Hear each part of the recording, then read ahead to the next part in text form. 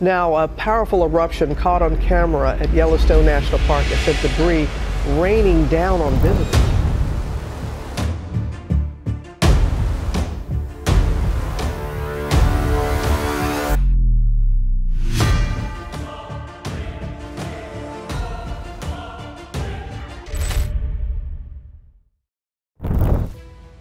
Montana, a state known for its rugged mountains and expansive plains, is no stranger to seismic activity. But what if I told you that a powerful earthquake in Montana could do more than just shake the ground? It might rattle the sleeping giant beneath Yellowstone. Today, we dive into a story that blends seismic science with volcanic fear the rising concern that tectonic activity in Montana could be the domino that tips the Yellowstone supervolcano toward eruption. Sounds like science fiction? Think again. In recent months, seismic sensors across Montana have picked up a swarm of small to moderate earthquakes, culminating in a significant magnitude 6.5 quake just north of Yellowstone National Park. While earthquakes in this region aren't unusual, the proximity and depth of this particular quake have sparked alarm among geologists geologists, the quake occurred along a fault line near the border of Montana and Wyoming, very close to the Yellowstone hotspot, which is a massive underground system of magma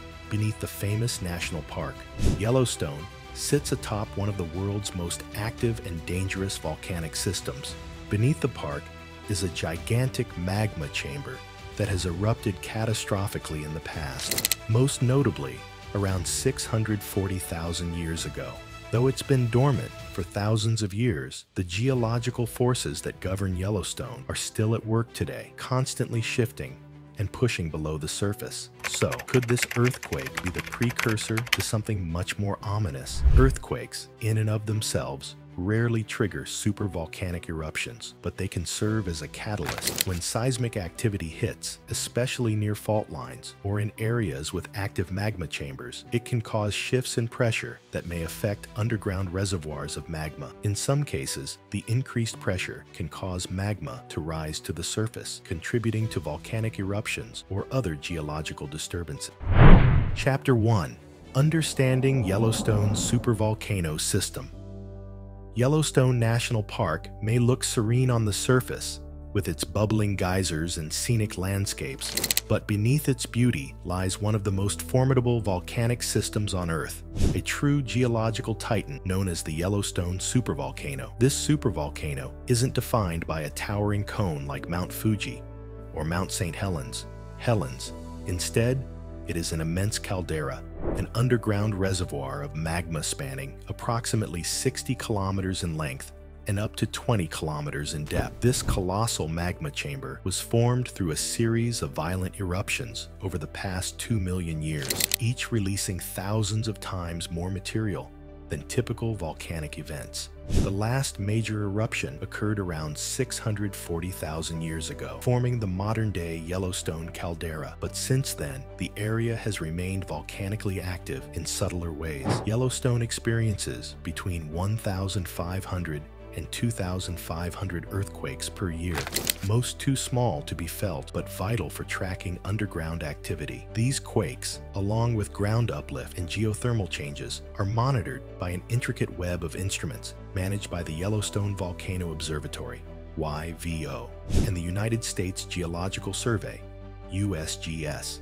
Moreover, there is a continuous flow of heat and gas from the subsurface, these features aren't just tourist attractions, they're geological signal. Geysers like Old Faithful operate because of underground heat and water movement, hinting at the powerful engine below. While it's easy to forget that Yellowstone is an active volcanic system, scientists don't.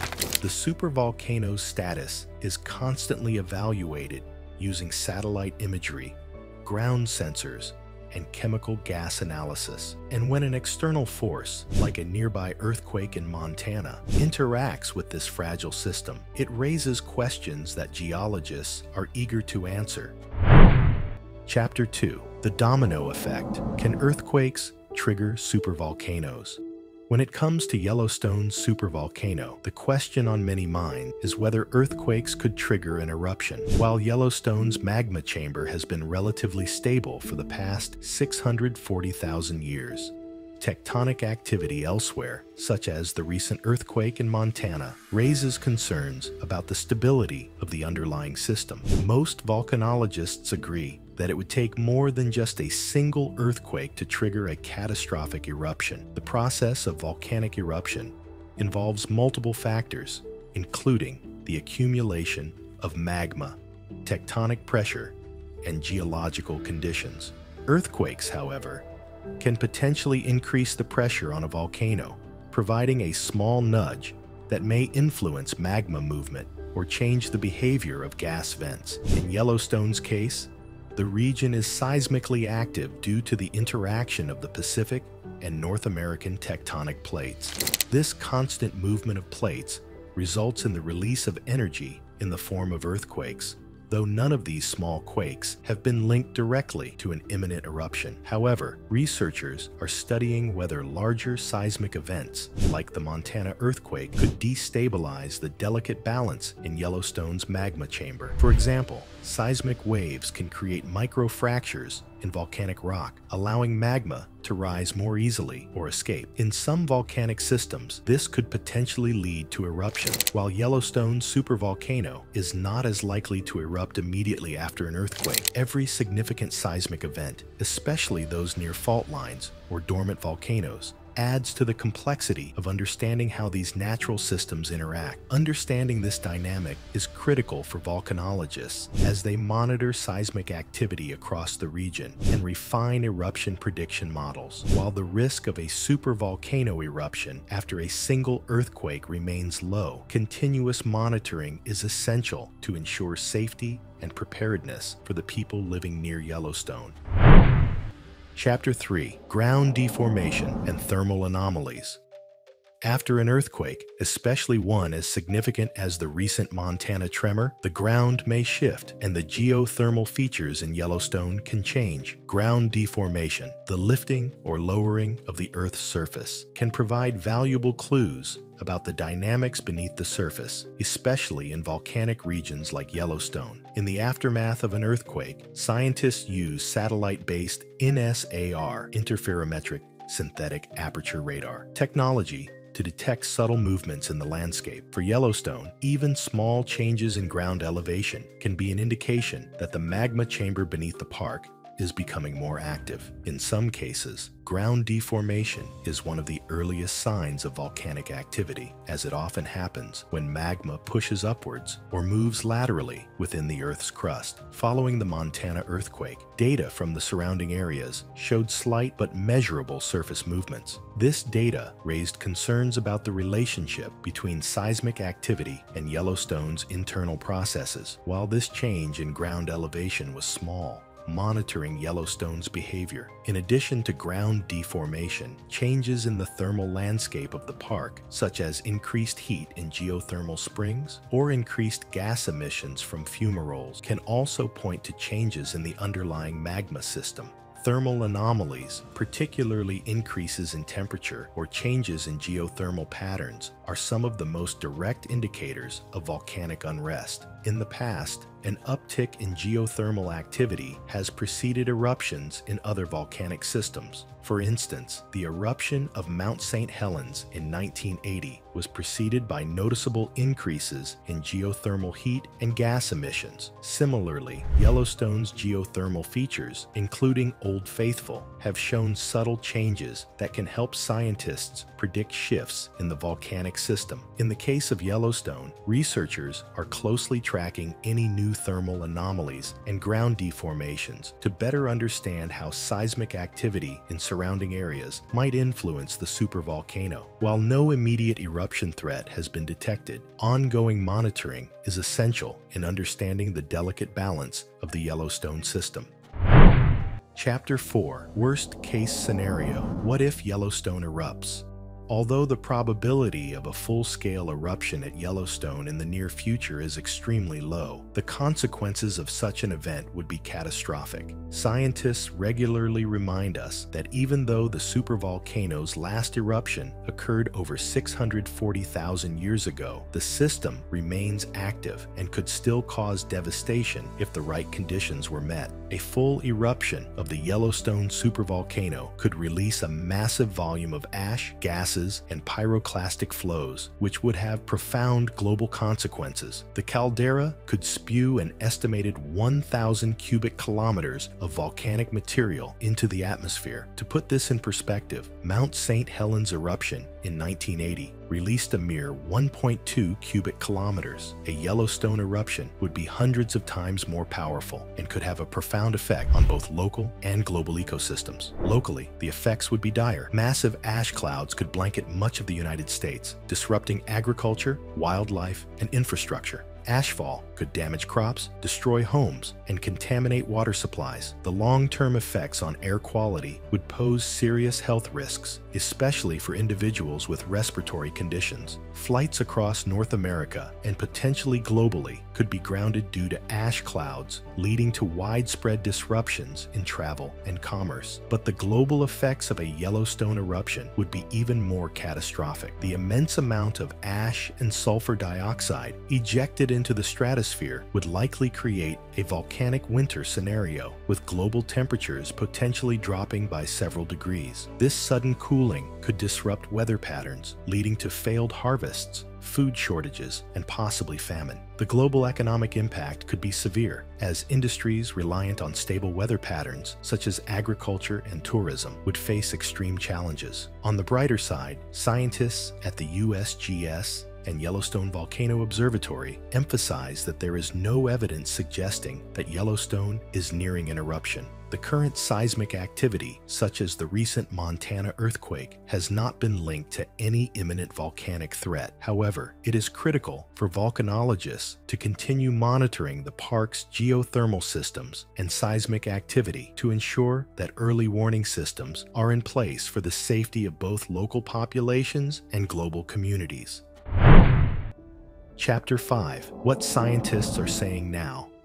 As the recent seismic activity near Yellowstone and the surrounding regions like Montana, has raised concerns about the potential for volcanic eruptions, scientists have been quick to assess and interpret the data. The United States Geological Survey and the Yellowstone Volcano Observatory play a key role in tracking any unusual activity that could indicate an impending eruption. Their message, however, remains clear. There is no immediate threat from Yellowstone's supervolcano. Volcanologists emphasize that while the recent earthquake in Montana may have increased awareness, it is unlikely to directly trigger an eruption. Earthquakes themselves generally do not cause supervolcanoes to erupt. However, they can lead to changes in the way magma moves underground, which is why scientists are closely monitoring any related activity. The real concern lies in the interaction between seismic events, magma movement, and the geology of the region, as it is a complex system influenced by numerous factors. USGS scientists also stress that Yellowstone is constantly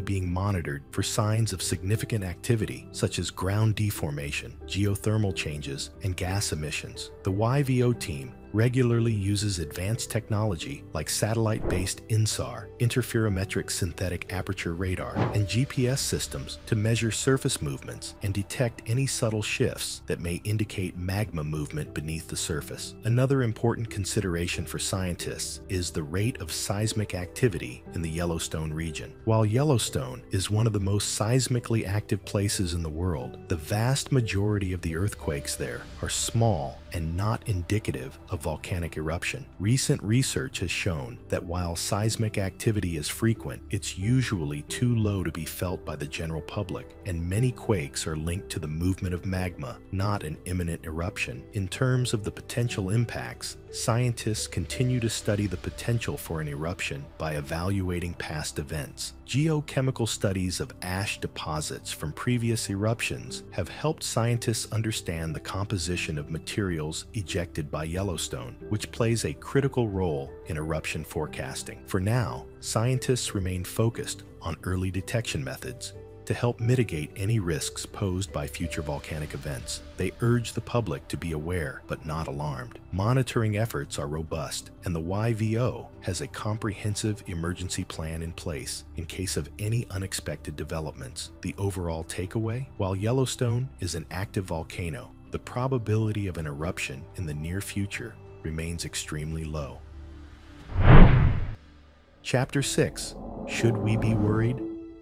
It's a natural reaction to be concerned when we hear about seismic activity near Yellowstone, especially when it's as significant as the recent earthquake in Montana.